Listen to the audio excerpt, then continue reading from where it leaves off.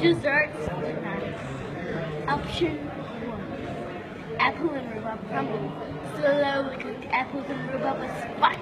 Chocolate with crumble. Served with ice cream and custard. Only $16. Option two. Sticky date pudding. Sounds gross. Let's skip it. Option three.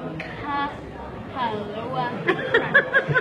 A chocolate and kahlua cream delicacy with vanilla ice cream and top chocolate shards and caramel sauce. Only fifteen dollars.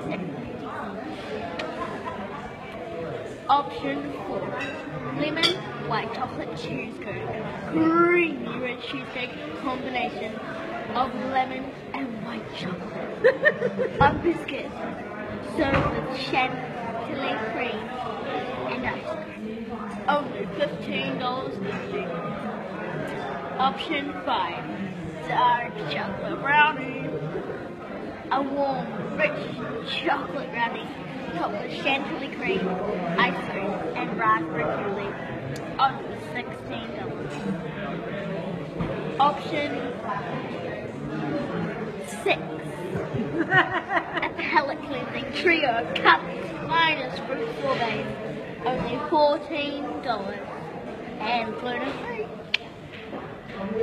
Ice cream sundae.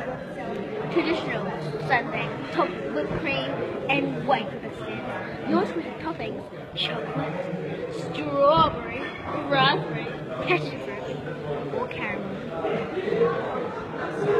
And and an option of nuts.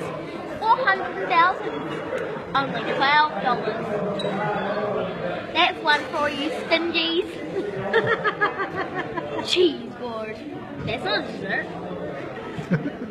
a trio of the finest cheese, fruit, crackers, and a home-style chutney.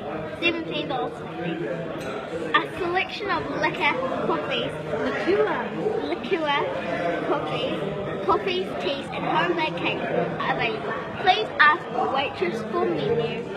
What if it's a man waiter person? That would not apply. So what do you want? Can you read them again? What? What do you want? What? What was number one? I alone Number four.